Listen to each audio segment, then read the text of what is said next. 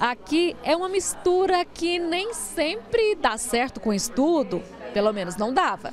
Agora dá, sendo uma mistura orientada, né, trabalhada com eles desde o início, qual o objetivo, com um objetivo definido, dá certo sim, muito certo. O projeto começou esse ano na Escola Municipal Pedro Gomes de Menezes, na Vila Regina, em Goiânia. A coordenadora conta que antes de decidir se juntar ao que era inimigo, era uma batalha. Mas agora a paz foi selada. Podemos usar em todas as matérias. O professor de matemática ele tem uma página né, no Face, onde ele posta os vídeos que é feito na própria sala de aula, com os próprios alunos. A professora de História, com as suas pesquisas, Geografia, até mesmo com as pesquisas, mapas, desenhos, mapas.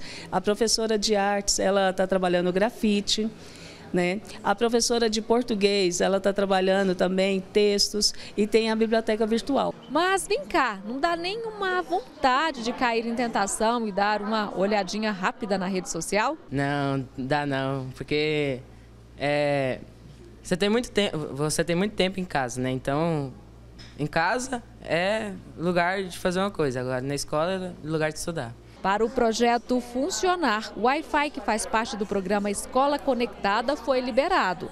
Só no recreio que não. E aí, dá-lhe atividade para os alunos não se desviarem do propósito. No recreio também eles têm muitas atividades. Ele tem um ping-pong, basquete, futebol, eles têm a, é, a parte que eles gostam de ouvir música, né, música bem selecionada, tem o parquinho. Olha aí, a aula do professor de matemática direto do YouTube. Compara-se uma equação do primeiro grau como se fosse uma balança.